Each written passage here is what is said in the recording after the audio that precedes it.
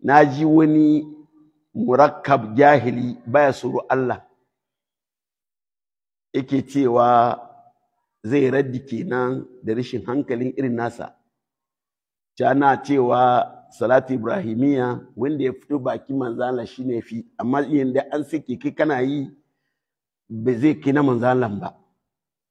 Saboda haka bari su yi gasa da salati fati. Ina philosophers. Ka gan su da riga kana siman mutane ne.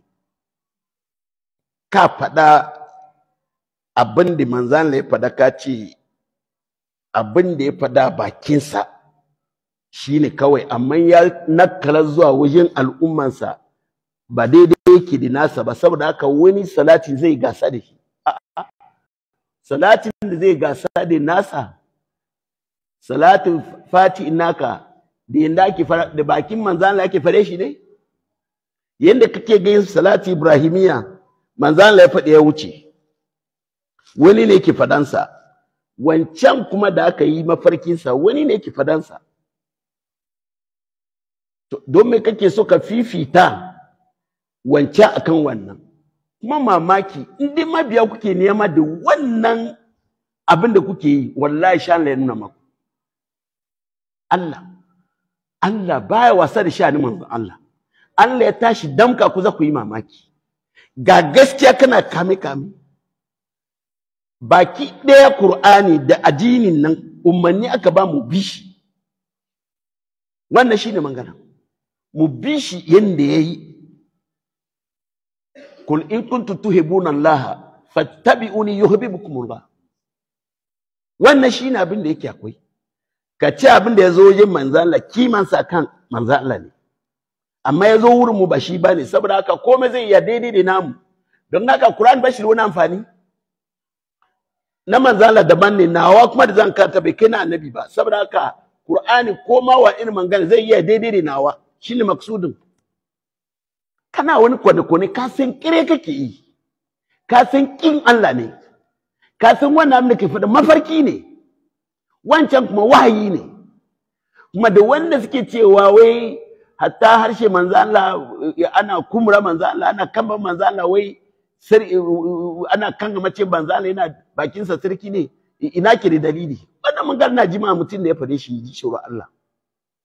Wannan magana yu'addi la kufr kalman da ya fito wajen manzo Allah sarkake ne da nusus da yawa. Hissiyan ma'anawi Kur'ani da hadisi Allah ya sarkake shi da kazanta manganu. Shi sa Allah ya ce Kur'ani la yamassu illa al-mutahharun tanzir min rabbil alamin. Sarkake ne. Harshe manzo Allah ya wusa mai albarka ne. Wace sarki kake buƙata kuma? Wace kamar manzon ma manzo Allah mu isa mu kambame shi. Manzo Allah ya kambama ya fi kambama ma. wace harshe za mu ya buɗe mu girma manzon Allah? Ya har tara. Auna manganin da yayin fadansa duk yanda za mu so mutum amma shani manzon Allah wala ba zai ba. Wani mutum sakare na zaune yake cewa wai abin da salatin da ake magana shine salatin inda manzon Allah yayi daban ne amma ya zo bakinka. Ah ya zo bakinka. Yanzu ya zo bakin ma ya fita cikin wahayi ne? Naka ne na mafarkin? Shine da kima? A'a, mutane da ka kasa gane wani irin mutane ne. Jawami kalmi. Ina daga cikin da manzo Allah sallallahu alaihi wasallam Allah ya ce da shi. Abubuwan da Allah ya ba manzo Allah fiye da sauran annabawa da suka wuce shine kalmar kadan amina da mana da yawa. Allah ne ba manzon Allah. Jawami kalmi fada kalma da amma manansa yana da yawa. Kuna fade shi. Sai yanzu kuma ku zo ku janye wannan kalman kalman da manzo Allah ya fade shi yana da yarwa. da Allah ya fifita shi wannan kalmar ma fasahansa ya fi sauran annabawa ma.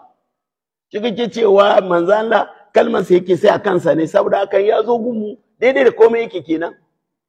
Kokarin da yake sai yi da na gan shi da son zuciya numfashin sa makarya ne son zuciya ne. Amma za ku yi bayana lahira. Ni waɗannan abubuwan ku janye ba jini ba ne. Aka ce shani manzo Allah ku sai nan wurin.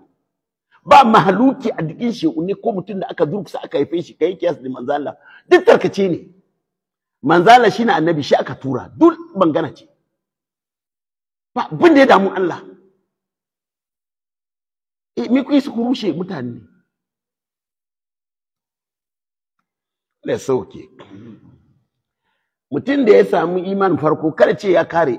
Ka takkura da iman har ka rabu da shi. Saboda haka in kana ganin kamar ka samu iman farko kana riyawa lana zaka tashi daga ba kumfo ne. Ka ringa murakaban in ka ka tashi shin abin da kake dan Allah kake yi kalmomi da kake dan Allah ne? Wannan zamanin shi wani siyasa ko wani mulki ko wani abu yaudare ka ka faɗa kalman da ka fito cikin addini. Ka faɗa kalman zai fito cikin addini.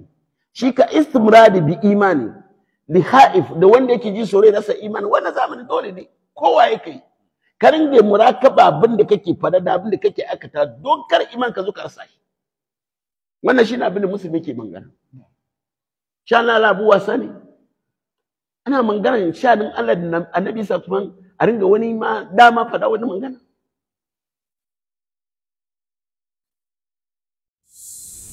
So